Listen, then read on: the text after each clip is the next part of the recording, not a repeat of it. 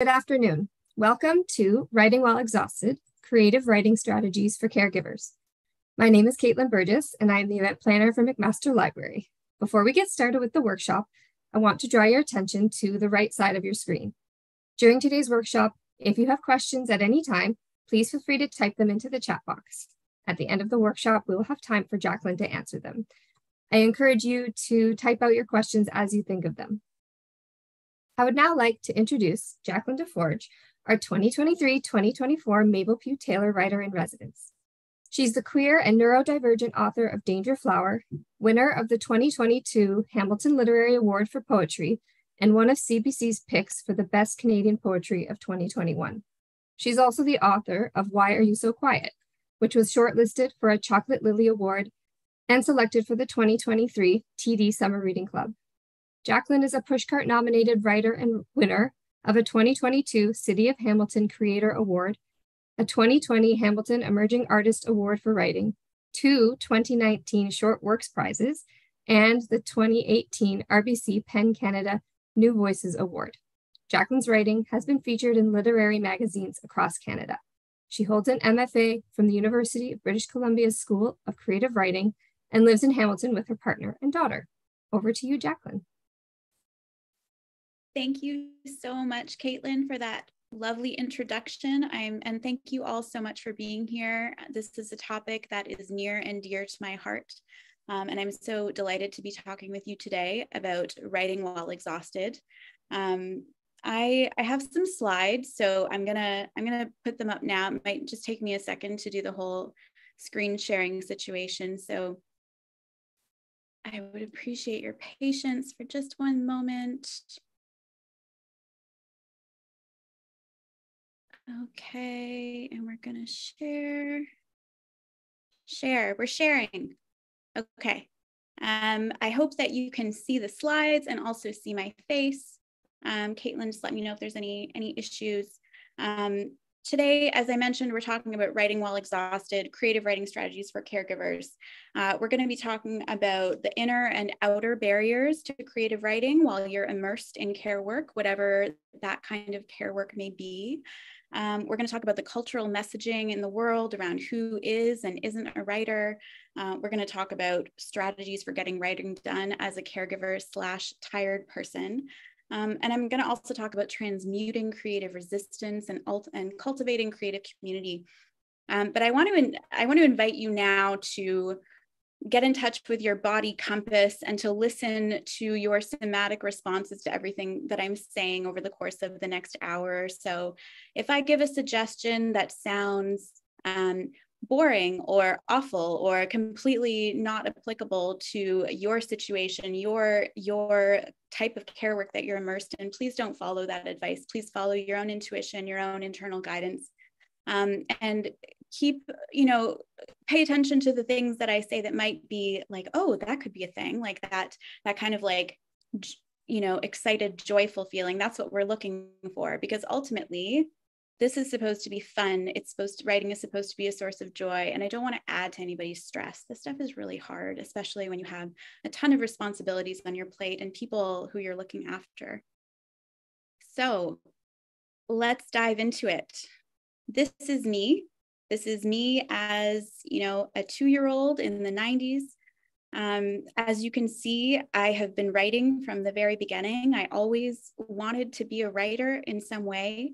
Um, but I never, I, I, was always wondering, like, is this actually me? Could I actually be one of these people who's who's writing?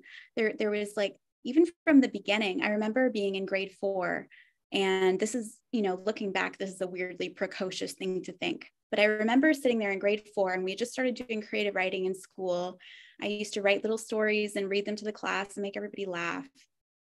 And I remember thinking to myself, what are the odds that I would want to be a writer so badly? And also that I, amidst all of the people in the world, would be able to be one um, which is such a strange thought but but i think it's actually quite common like we especially in our in our culture we tend to think of a writer as being someone you know someone special or, or different or like outside of, of lived reality and it's not really true Um, but I think that blocked me for a long time. I was very, I was afraid to do this. And so I, you know, I went to high school and I wanted, was like, oh, I want to be a, I, I wish I could be a visual artist because it seems so much more expansive. There were so many more ways to be a visual artist in the world. And when I think, when I thought about who a writer was, who a writer was in the world, I pictured uh, a middle-aged man at a desk with a cigar and bourbon. And for whatever reason, like I didn't, I obviously didn't see myself in that. Um, that wasn't what I wanted to be. So I felt in some ways set apart right from the beginning. So I danced around my dream for a very long time. Um, I did what was at that point the responsible thing which was to go to journalism school. Um, and i did i was the worst journalist in the i was the worst reporter. I, I was awful at reporting um, really good at writing awful at reporting. I did my best. Um, i did ghostwriting. I wrote for women's magazines. I wrote a lot of articles about coconut oil. But then when i was 25 I had my baby, my daughter Quinn, who is now eight. And at that moment, I realized that A, I was exhausted, and B, I was terrified. Um, but I needed, I needed something, like I needed something to reconnect me to myself. Um, and in some ways, that exhaustion of being up in the middle of the night with a newborn, I got so tired that I was not afraid anymore. Like it was, it was, it was like the exhaustion itself was a portal into being able to do this thing that I've been running from my whole life. Um, and then so I did it that like I started my creative writing practice as a new mom with a with a tiny baby. Um, I you know I did a mentorship with Alessandra Naccarato, which was amazing. I you know I I uh, she was so kind and told me I was a wonderful poet when I really wasn't yet, um, and she encouraged me to apply to my MFA, which I did and somehow got in. I, I spent only two weeks on the application because I was getting towards the deadline and anyway, long story short, here I am, and and I have done all of the things that I've done while being a mom, um, and in many ways, like this, like this is exactly this feels like exactly how it was supposed to go. My my writing has emerged from caregiving in a way, and um, yeah, it's been it's been a wonderful journey. So I want to talk a little bit about the inner experience of caregiving we all know sort of what it looks like on the outside. Um, it'll differ depending on what kind of care work we're immersed in. Maybe we're looking after kids or elderly relatives or any, but like there's all kinds of care work that the world needs care that needs to get done in order for things to keep rolling, in order for life to continue. Um, but it can be really hard internally to make that shift to to being a caregiver. Our locus of attention shifts away from our own bodies and towards somebody else's. We can't eat when we want to eat. We can't sleep when we want to sleep. We can't shower when we want to shower. Those things can be really disconnecting and isolating. Um, it can be hard. It can be it can be very isolating. I, when when my daughter was a baby we lived in this neighborhood in North York. We lived in this like tiny rental bungalow in this really um, in this neighborhood that was filled with mansions, but no one actually lived there. It was strange. It was like walking around, being completely alone, pushing the stroller around. And I was quite young too. I, I was only 25, and in Toronto, there weren't very many moms my age. Um, I found that time started to operate differently. I not only, you know, the days were very long, there was no way to just sort of like disconnect and just read or watch TV all day. Like it was like, you know, I had to be on, I had to be mothering every minute, you know. Um, but also, my experience, like my relationship with time became different. I was available when other people were unavailable. I was unavailable when other people were available. The poetry readings happened at 7 p.m. You know, it, not a great time for for a parent of a baby.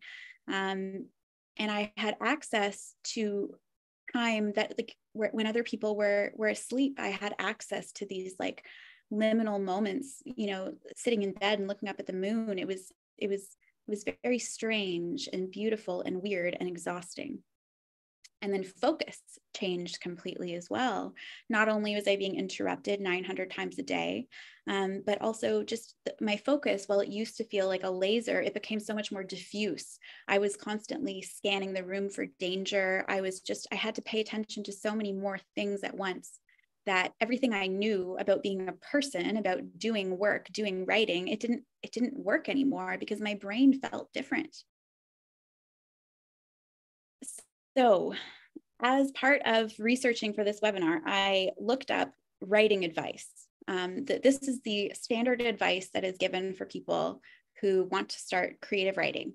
And I was blown away at how completely um, inapplicable it what this advice was to my own experience having having you know just one baby this sounds impossible to me and i can imagine that if people are immersed in even even more intense levels of caregiving this would be very very difficult um, and it could potentially be you know it could be quite intimidating there's the advice to write first thing in the morning. Never mind the fact that first thing in the morning is always an emergency when you're caregiving. It's like, oh my God, this is when someone needs to be fed.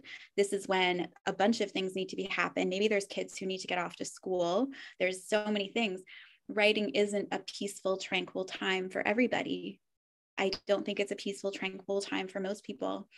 Um, there's also a big emphasis on setting a goal of writing a, a particular number of words each day, hitting that word count, which is just so so stressful, especially when you have other responsibilities.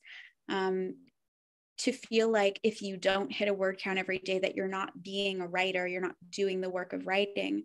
That's very, very difficult, very stressful. Um, there's also advice to read voraciously and you know there were moments in when my daughter was younger where i was able to read um, depending on like at certain phases she was napping for example and i was able to read because i ignored my laundry completely um, but on the other hand like because focus is different, attention is different, um, it can actually be quite difficult to read as voraciously as one might have done as a child. I read for hours and hours and hours in the 90s. There was nothing else to do. It was great.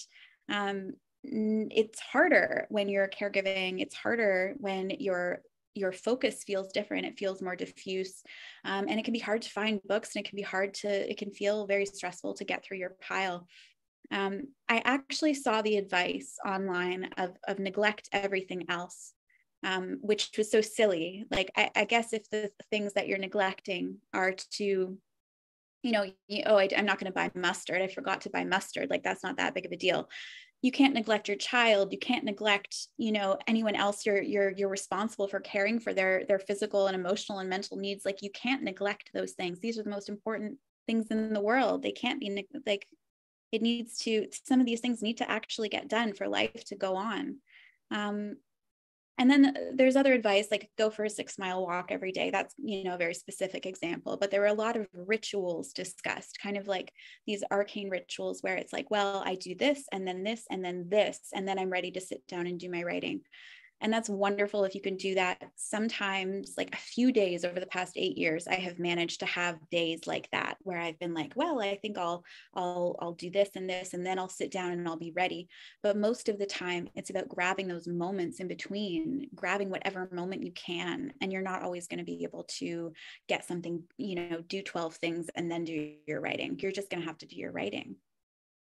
Um, Setting ambitious goals is another one. I have ambitious goals for myself and I always have.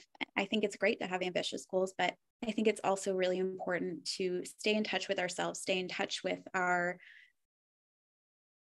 stay in touch with the parts of us that um, you know might feel overwhelmed by a really ambitious goal what can be ambitious when you when you have people you're caring for on the day to day, what can be ambitious is like maybe I'm going to try and devote five minutes or 10 minutes a day or, or a few days a week to um, being with my writing. That can be not only can that be like a big goal, it can be a very effective goal. You can get so much done in that time. Um, and I think that that advice to set ambitious goals can kind of kind of uh, direct our attention away from the fact that a lot of this work can be done in a very short period of time. I've never written more than, than several hours a week over my, my entire creative writing practice. And finally, to treat writing as your nine to five, I don't want a nine to five to begin with. So I certainly don't want my writing to feel like one. That's not, not a particular goal for me, but your mileage may vary on that. All of this advice, of course, is related to the fact that cap like this this advice emerges from a world that's rooted in capitalism right? The capitalism's vision of creative writing is that numbers go up and there are so many different activities underneath the umbrella of creative writing. There's so much that needs to get done. There's reading and thinking and dreaming and imagining. All of those things are not only like part of it. Those are essential to this work. Um, but those things are not easily understood through a capitalist mindset uh, capitalism understands like you sit down and you write a thousand words and then the next day you write another thousand words and then you have 2000 words. That's what it understands. And un- like writing ultimately is not that linear and it is not that simple and there's a lot more to it. So why is it so hard to write as a caregiver uh, we've touched on you know several of these reasons but ultimately it comes down to there, there's outer barriers there's systemic barriers in many cases. There's lack of space support time. If you don't have respite care if you don't have um, family or friends helping if you don't have someone with whom you can share the load of caregiving it can be very difficult you may not have space in your house to do that conventional advice of oh have a desk and have your special this and your special that and your special pen and your own office or your own area.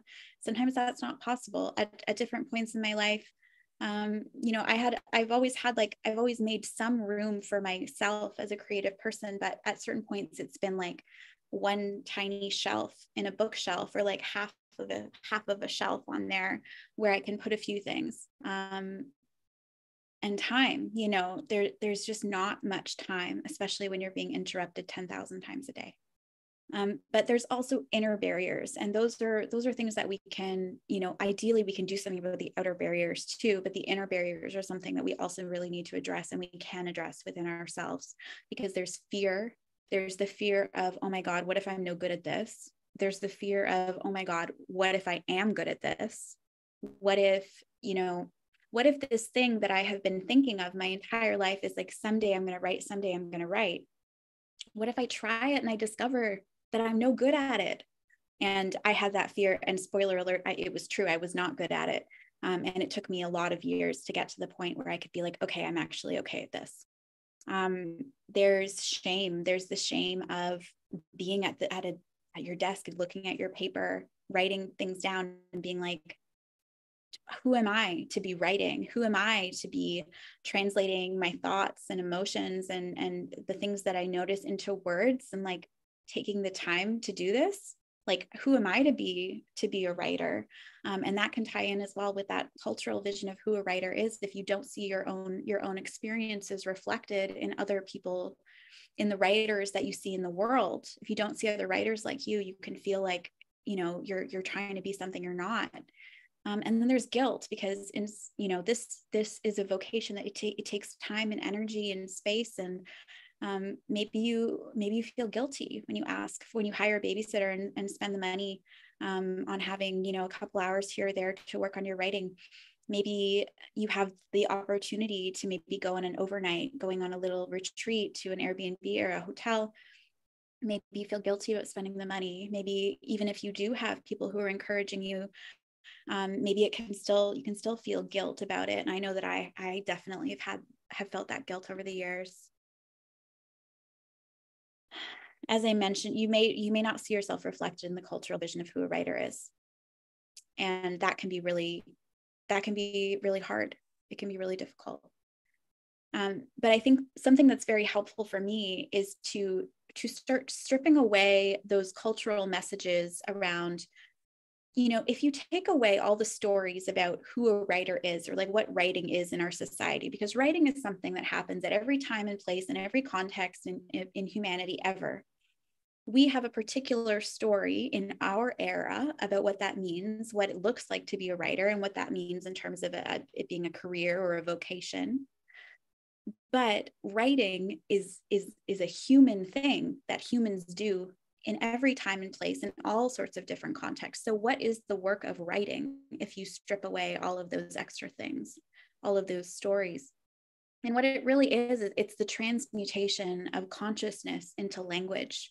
It's taking the experience of being a human being, of, of being conscious in the world, of, of noticing and feeling and being, and then tr- translating that experience into language so that it can be expressed to others. And that is something that is you don't need you don't need to be a man at a desk with a cigar and bourbon to do that. You don't need to be anything in particular to do that. This process of transmuting consciousness into language belongs to every human being. It belongs to all of us. And not only that it is essential work.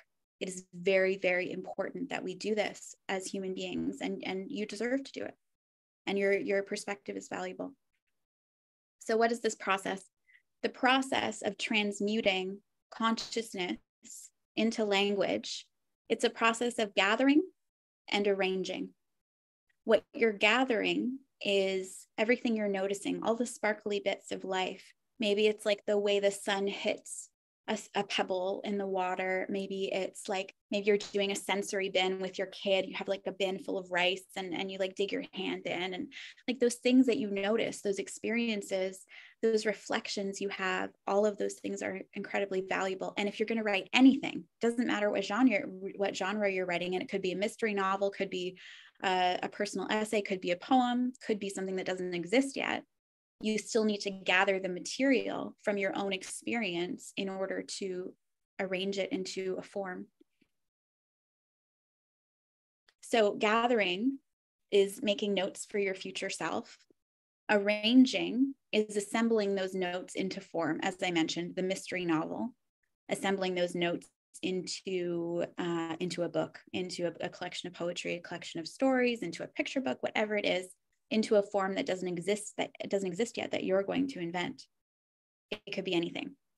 Now gathering gathering is the piece that is easier during the season of life in which you are deeply immersed in caregiving.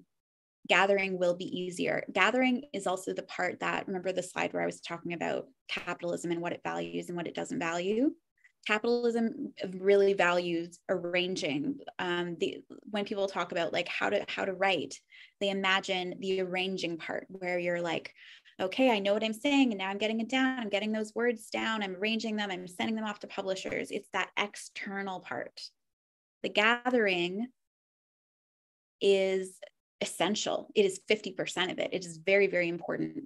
Um, but it's the dreaming and imagining and making notes and thinking and reflecting and all of those things. And, and so my recommendation, and this is what I did when I was most immersed in caregiving, gathering was was more more of the thing that I was doing. And it kind of worked out because that really needs to be done before you arrange.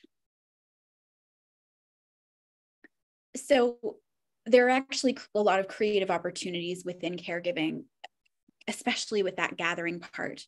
Um, I found that the exhaustion and boredom of of um, being a primary caregiver was actually like kind of the perfect context within you know to be able to be gathering. I was very aware at every moment of what was going on. I was doing a lot of walking. I was doing a lot of you know like I was just very present in every moment. And that's exactly what you need when you're gathering, you know. Um, you have as a caregiver, you also have a deep connection to what matters as a human being. You're immersed in, in very important work that needs to be done in order for life to keep rolling. Um, and it's work that is often devalued, but it is essential you have a deep connection not only to what matters but you have a deep connection to matter to physical life to like making food and and like doing the laundry and like all of that physical stuff. Those rich sensory details are exactly what you need in order to make your writing feel alive. And then again just access to those liminal times right? Access to um, those those times of day when everyone else is asleep or those times of day when everyone else is at work um, those can be wonderful times to be doing a little bit of gathering here and there.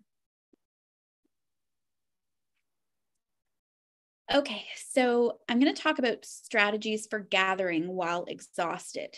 Um, the thing about gathering is you still need to find the time to do it. It still needs a container in which it can it can be done. Um, some people do well at just like any any given moment like if there's you know if there's any time in which you're waiting even five minutes they'll just you know get their notebook out and scribble some things down or they'll get their notes app out on their phone. Great. For me it's harder because it's, it's hard to do that. I, I don't necessarily do that. Um, i like it I, I find it easier if i if i link in some ways like if I link gathering or writing to a habit I already have. I really like coffee window time because I'm so addicted to coffee that there is never going to be a day in which there is no coffee. Like there will be coffee no matter what is going on. There will be coffee. So if I attach writing in some capacity to coffee, then I know a little bit of writing is going to go on. I find that coffee window time is that's a time where I sit and I look out the window and I drink coffee and I set a timer for 10 minutes. And I'm not really writing, but I'm making notes of just anything that bubbles up within me, any th- like thoughts that I have or images that, you know, could potentially go into a poem later. Um, so if you set a time with yourself, I would recommend like a length of time that feels really good to your inner, you know, body compass. Like if I say 10 minutes and that sounds overwhelming, like go back to go five minutes, go one minute, scale it back to the length of time that doesn't feel scary. Um, you can get a lot done in one minute.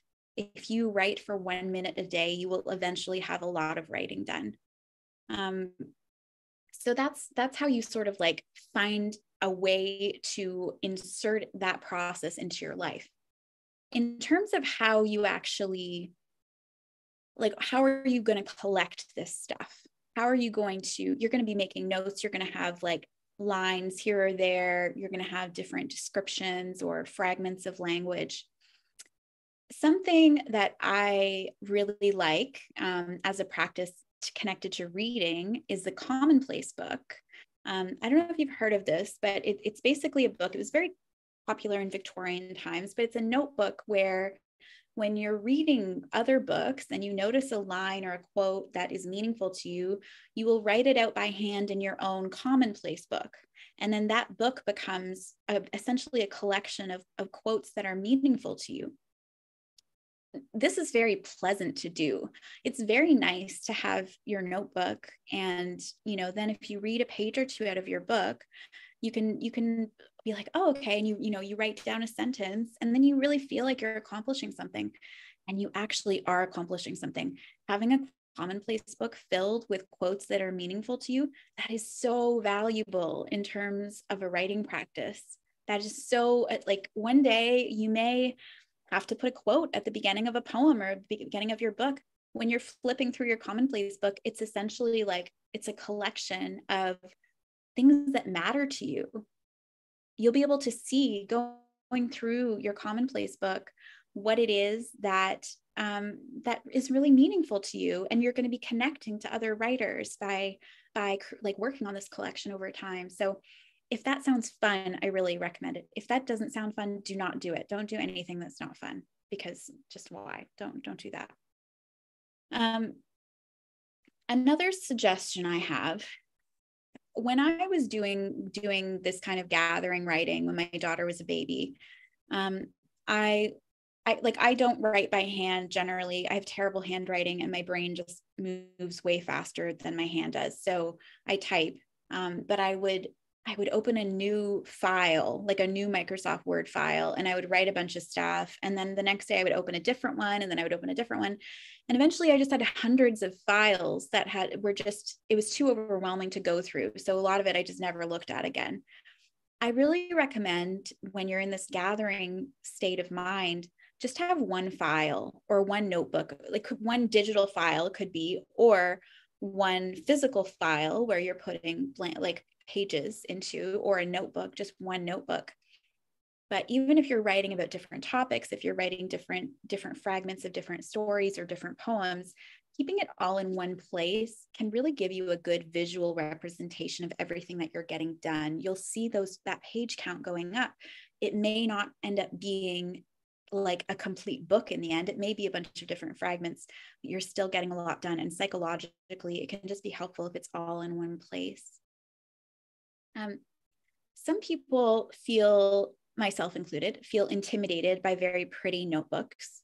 Um, maybe it's because I have terrible handwriting, um, but I always feel like I'm messing up the notebook, and I and I tend to like you know I'll write something and then I'll look at it again and be like, oh, I don't want that anymore. And if I rip it out, then there'll be clearly no page, like their page will be gone. There'll be you know, so I find the chiller you can make the notebook situation, the easier it will be in terms of your writing. So that means you could have like a wire bound notebook if you wanted.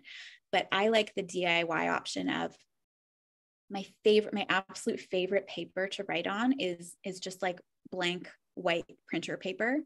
Um, and if you get a couple of binder clips, then you can just add more pages add more of this white printer paper into this binder clip and eventually it becomes like a notebook.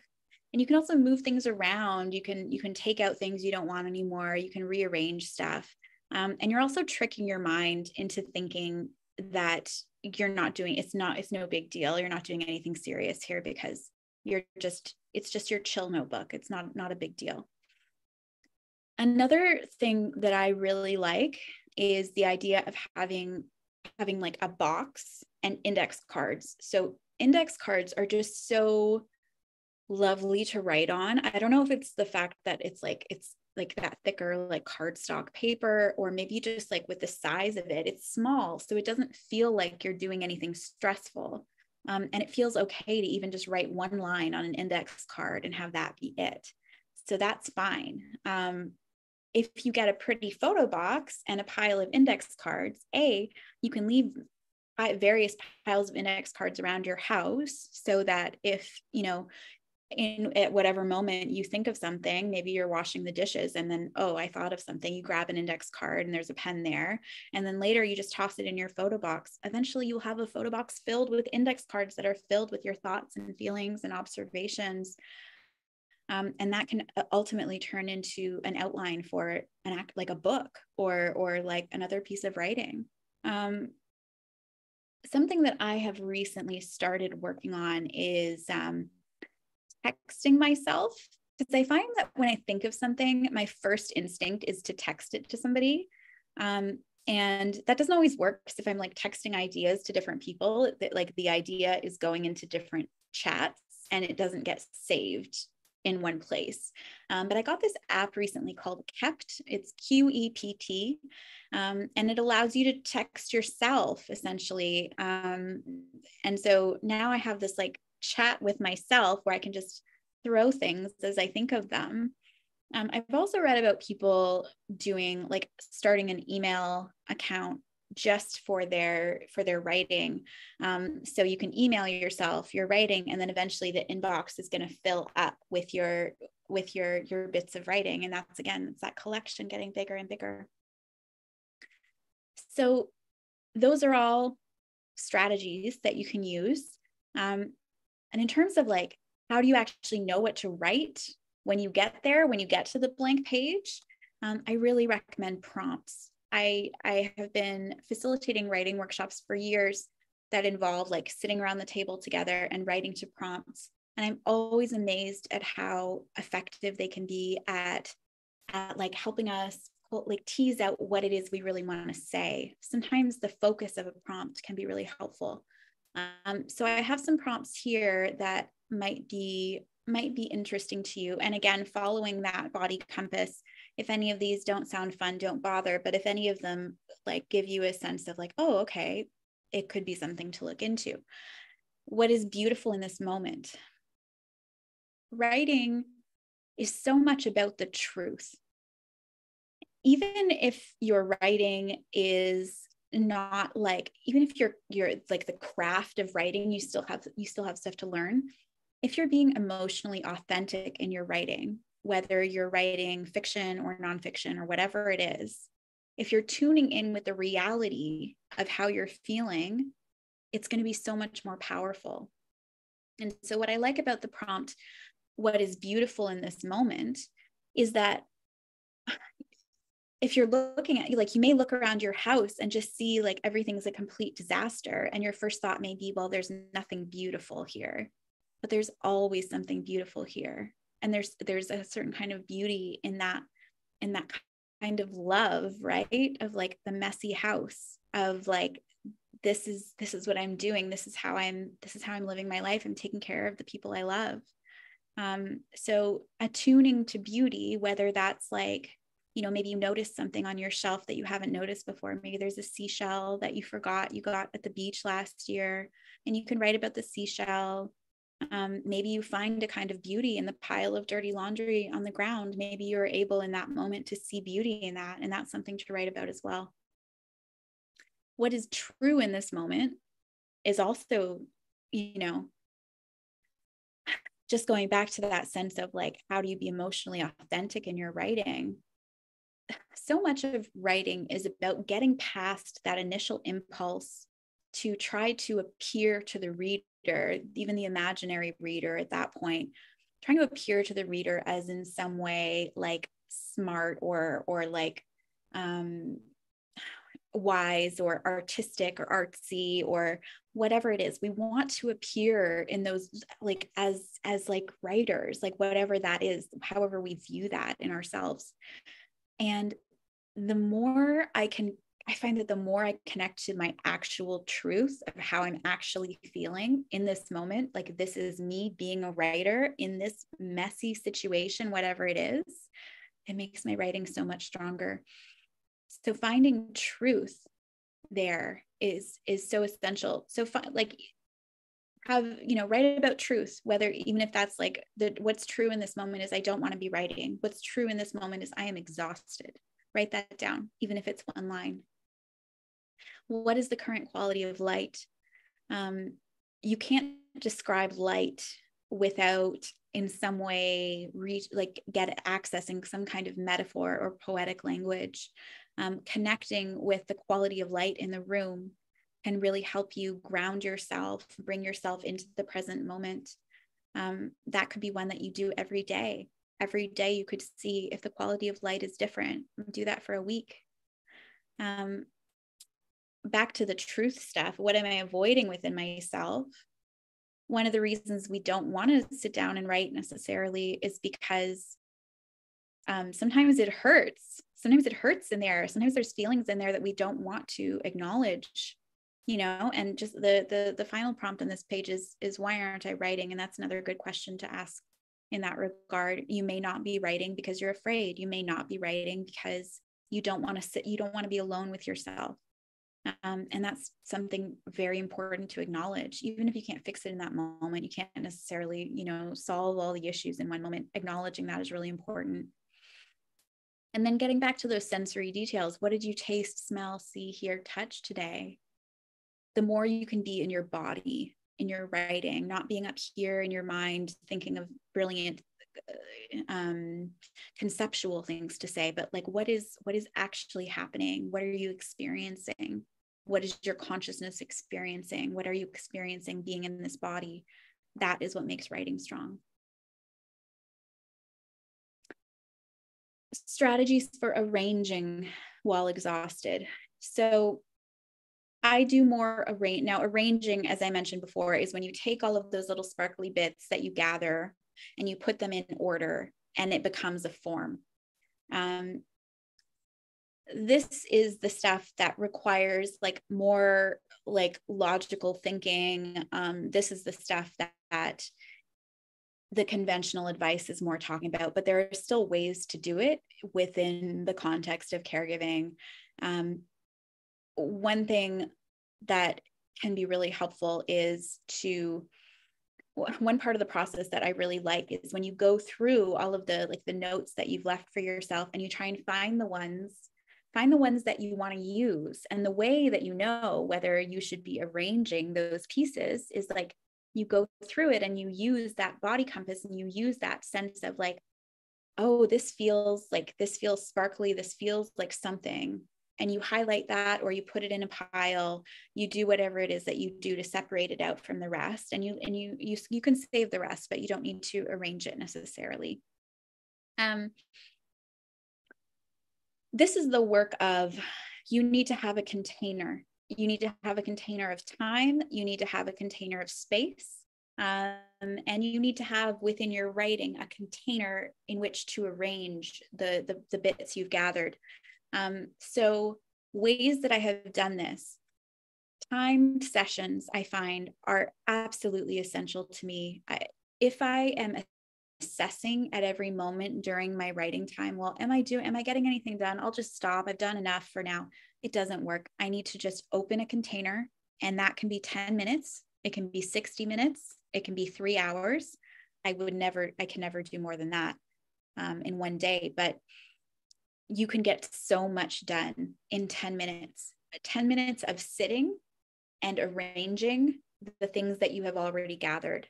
Um, that means like looking at the notes you've made, sitting down and like figuring out like, okay, what goes where? like this is the this is the the that kind of writing you know um you can get so much done in 10 minutes you can get a lot done in 60 minutes three hours is like luxurious um, but don't worry if you can't schedule three hours. Like even if you schedule three hours once every six months, that would be amazing. If you could um, get some respite care, get a family or a family member or friend to help. Um, if you can do once a year, once every five years, depending on the situation, if you can do an overnight or or a weekend retreat, um, that's what I did with Danger Flower. Was I I did I think my daughter was in was in junior kindergarten. I had a little bit of time when I was doing the majority of the gathering for that book. Um, but at the end, I had a big pile of poems that needed to be edited and needed to be arranged. So I, I did a, a self directed residency at Gibraltar Point in Toronto, on Toronto Island. Um, it was like two nights, and I got the book all arranged in that context. I know like that is a very like not everyone has access to that but there are ways to get it done. It can even happen in your own home if there's some way if you can find a family or friend family member or friend to help you um, with your caregiving. If you can be alone in your house overnight it can be really really helpful um, to take that time have that that container of space and time that longer one which is like no more than like three days maybe. You can get so much done in that time um, I sort of skipped over this this at the beginning, but turtle steps are so important.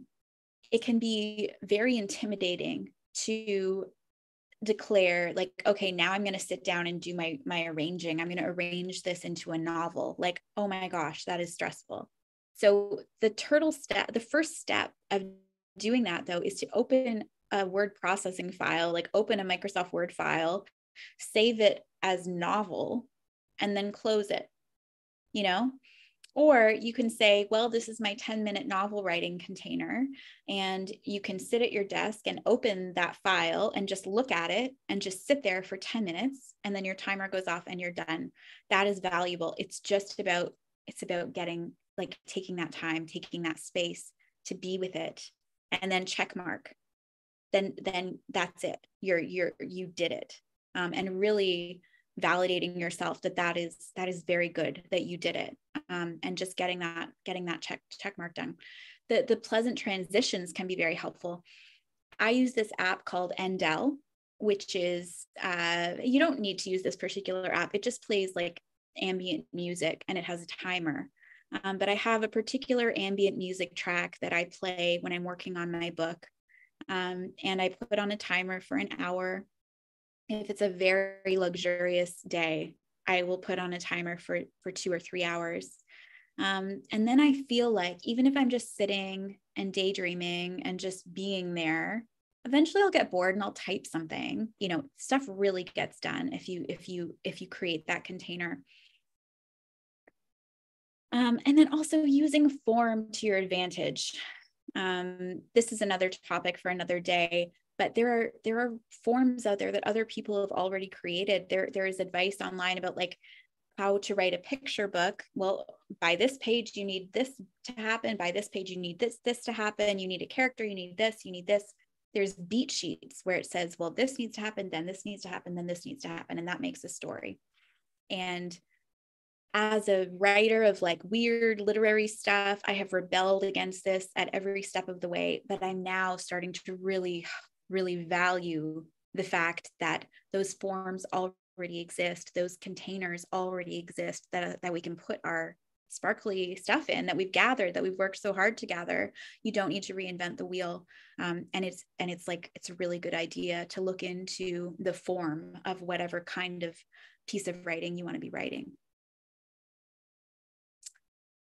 How to transmute creative resistance this creative resistance is the inner part of yourself that when you do have time when you do have space you could be writing um, but you don't want to for some reason. And and it's this voice in your head that'll tell you like well i really should do the laundry or i really should do this or i really should phone this person or you know i'm writing historical fiction and i really should you know research every single instance of this historical thing happening in the history of humanity like it'll say all kinds of different stuff. And this is different from actual like external barriers um, and it's even different than fear. It's this it's this part that is like that is distressed you know? It's this distress that makes it really difficult to transition from not writing to writing.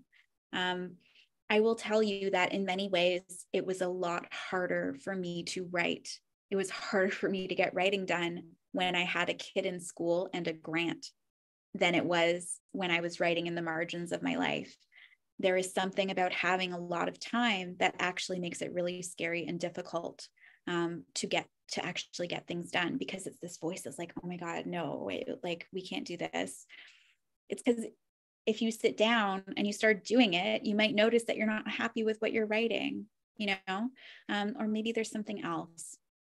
The key with creative resistance is to be with it and to attune your attention to it to notice it and listen to it. Because the way creative resistance wins is it sneaks up on you and tells you that you should be like sorting the mail right now right? So if you turn to it and you say oh you're telling me to sort the mail right now that's interesting then you're looking it directly in the eyes and then it, it loses its power right? Um, so once upon a time in university i had to take a creative writing course or sorry not creative writing i had to take an acting course. I had to i had to act. It was it was silly but i had to do it. Um, and one of the things that we had to do as our you know as for our project was, was like we had to stand in front of the class and read something out loud. And looking back now, this was a very good class for me to have taken. It was absolutely essential to my current job, but I did not know that at the time. And it was very shy and very terrified. Um, but what I learned was the best way to move through that fear of standing in front of everybody and being on stage and you know having to read something is to actually be in the moment. And the teacher had us like when we were up there we had to look in everybody's eyes and just stand there silently until we until we like got comfortable with that feeling of resistance. And then when we started when i started reading the the advice was like find enjoyment in every word like try and find something enjoyable within it and i did. I found so much enjoyment in in like in reading the words out loud. And now reading poetry is my favorite part of my creative practice. Like when i get to do a poetry reading i'm so happy.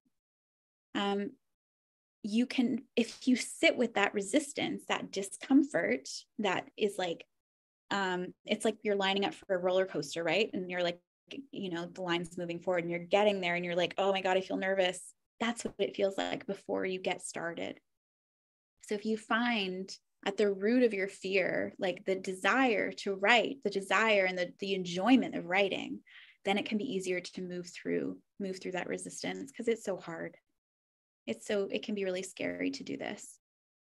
Um, something else that's so important is cultivating a creative community and you know, when I talk to people as part of my uh, my writer in residencing, um, a lot of people talk about how they wish they had access to some kind of writing group and and like that really in many ways is like the holy grail of like oh my gosh I, I would be so great to have like a group of writers who who really get along and are writing you know similar things or helpful to each other in some way and it can be really difficult to find um but it can be done.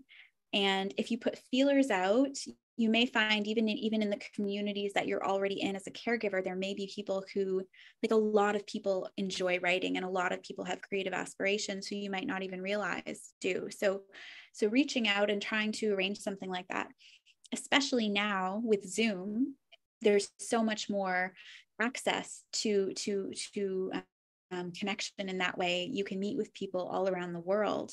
Um, but you don't necessarily need like that would that is great especially if you can find people who p- potentially will switch off on like babysitting or like helping with other caregiving responsibilities or who will will help you in some way um, to get your writing done or to edit your writing or to give you advice um, but even if you can't access in your current life and the way things are right now it's just it doesn't make sense. You can't access those like people you know in that way you can develop your own metaphysical writing community. Like you can have a sense of community reading authors who are long dead.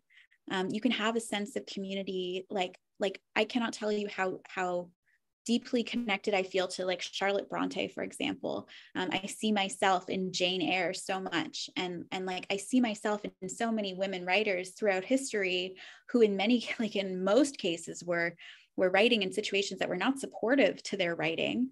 Um, I see that and I and I feel connected to those people. And so you can sort of develop your own your own like metaphysical connections. Maybe you can have a collection of the of those those people's books and maybe you can you can read their diaries or maybe you can like you can have a sense of community through time and space you know and i think that that can be really valuable if you if you stay connected to the fact that you as a human being are doing something that humans have been doing from the dawn of time transmuting that consciousness into language, you don't have to feel so alone because you're really not. You are so connected. You're so connected to everyone who's ever done this and so connected to everyone who's ever been deeply immersed in the difficult daily reality of caregiving.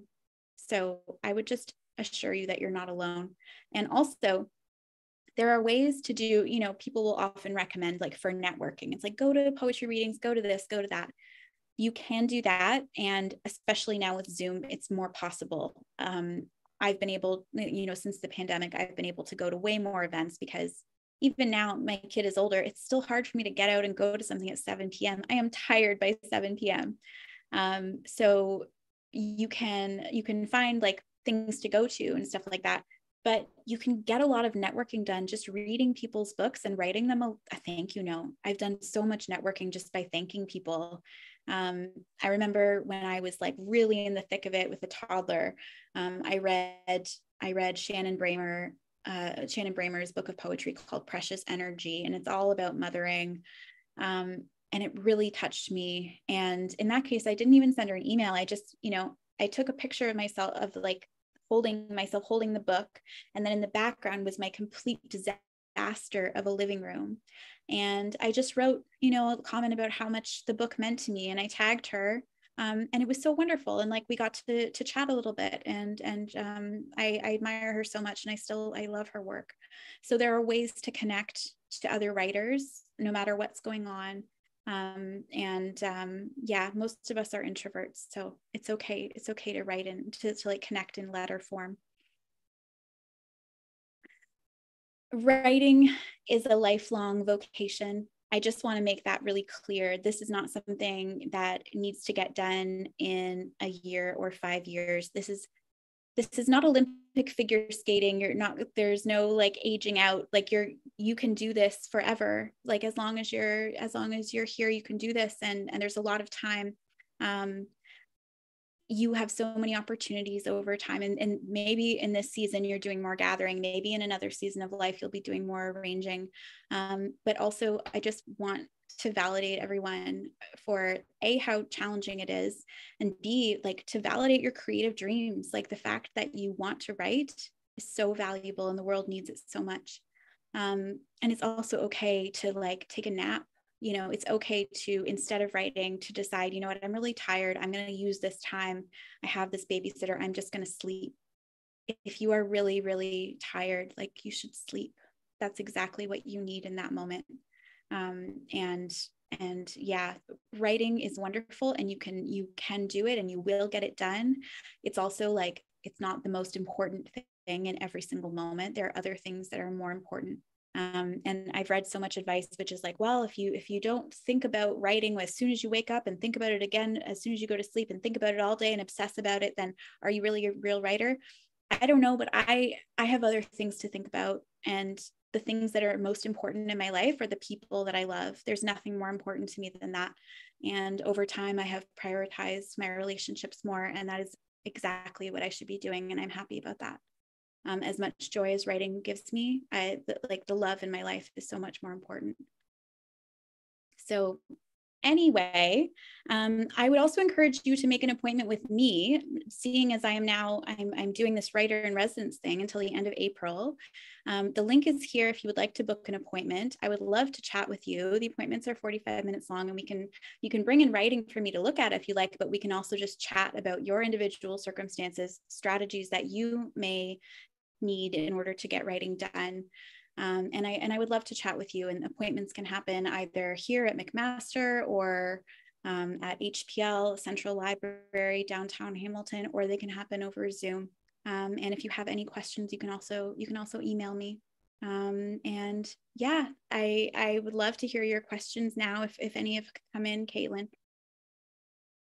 Thank you so much, Jacqueline. Um, so yeah, just as a reminder, um, there is a chat box on the right-hand side of your screen. Um, I'm probably pointing the wrong way. Uh, um, so if you have any questions, please feel free to send them in. Um, one question we did get, and just so you know, lots of praise and people agreeing with a lot of the things that you're saying. Um, I'll make sure that you see these comments after. Um, but one question came in, how do we know when it's time to move from gathering to arranging? That is a really, really wonderful question. I I think that the time, like how you know when it's time, is that you'll start to get annoyed. Like, I think that anger or frustration is actually a really good indicator of time that like change needs to be made. And I don't mean like you need to be enraged at your writing or something, but there's this feeling that can come up that's like, that's like, I'm annoyed with this. Like, what's wrong? Something's not working. I've been doing this for so long and I don't know what's next. Like, what do I do? Like, that kind of, it's the energy of like, when when I was still walking my daughter back and forth in order to like get her to go to sleep at night and I would walk her back and forth for half an hour and I did that, you know, until one day I was like, no, we are not doing this anymore because I'm going to fall down. And then it's like, no, you're going in, in the room. You're going like you're, you're going to learn, learn to lie down and go to sleep yourself. It's like that kind of thing. Right. You will know when the moment comes when you're like, this is this is the time I want to move forward. And in that moment, you will be like, okay, how do I do this? And that's when you that's when you figure out how to how you're going to create your containers. So that container can be um, 10 minutes a day, it can be 10 minutes a week, it can be one hour a week, it can be um, setting up.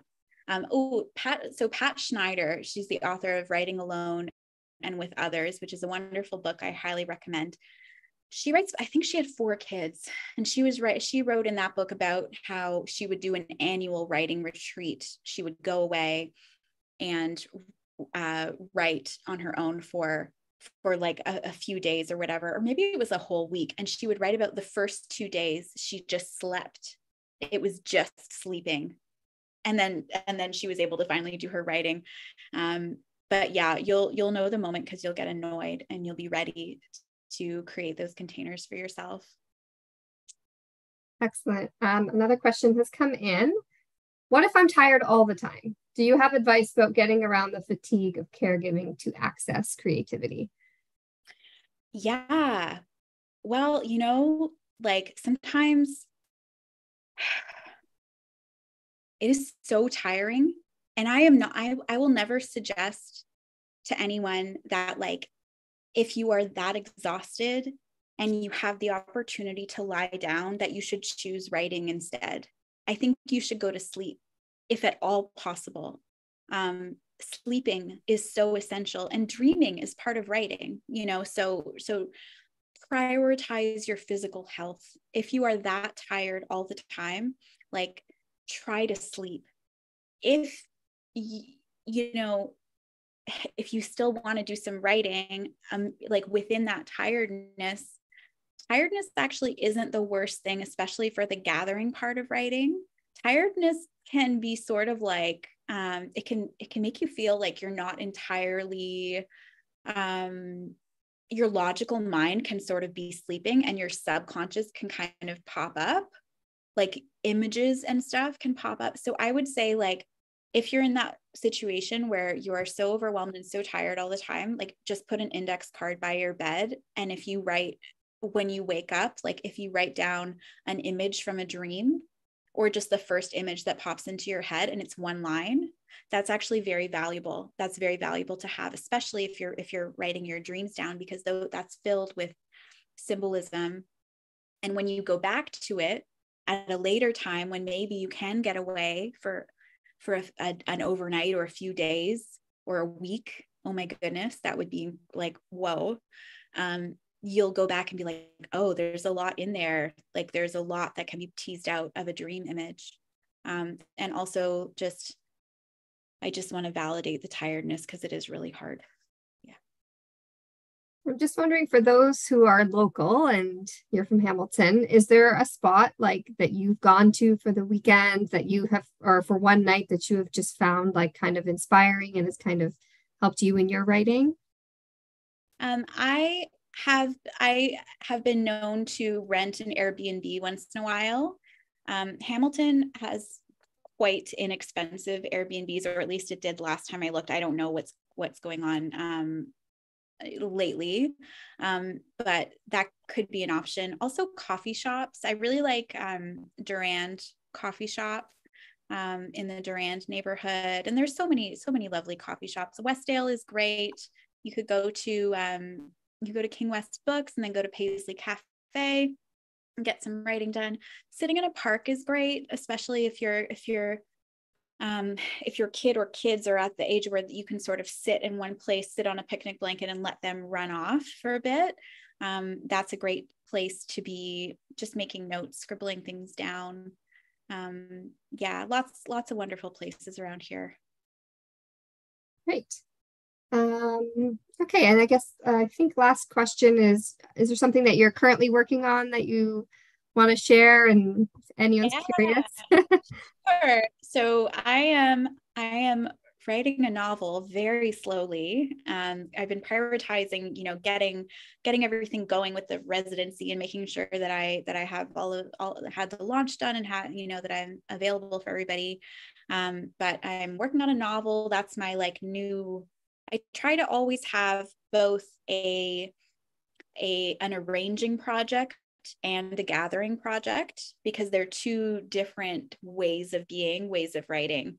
So my current gathering project is um, is my is my novel that I'm and it is just such a delight like because I've been arranging for so long my short story collection which is almost almost like it's mostly done I'm just like tweaking these last few things um, but so that's what I'm working on with arranging. That's a my collection, my short story collection is a book I've been working on for for about five years. Um, and the novel is brand new and so delicious. It's so nice, um, especially after writing all those stories. It's nice to just write one story instead of 13. Anyway, I'm sure it'll get harder later, but I'm having a great time right now. That makes sense. Okay, well, thank you everyone for questions. I would like to thank Jacqueline for this incredible workshop and to all of you for registering. I'd also like to extend a thank you to Colin from the Faculty of Humanities for running our tech support behind the scenes today. Um, and just so you know, a recording of this workshop will be available in the coming days, and I will send the link out when it's ready. Or if you know someone who wanted to attend and couldn't, um, not to worry because there will be a recording. Um, thank you so much, Jacqueline, and have a wonderful afternoon, everyone. Thank you. Bye, everyone.